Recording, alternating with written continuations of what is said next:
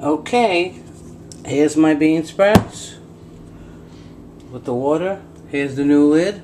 Let's see if the way I did it works. Whoa! We got holes. Look at that. Let's do it again. Oh my goodness. This is cool.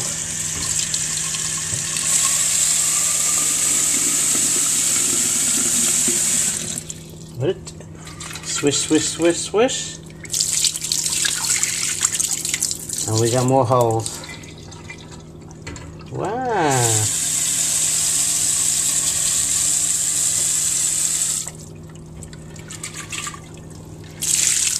And we got more holes. Look a whole lot of holes.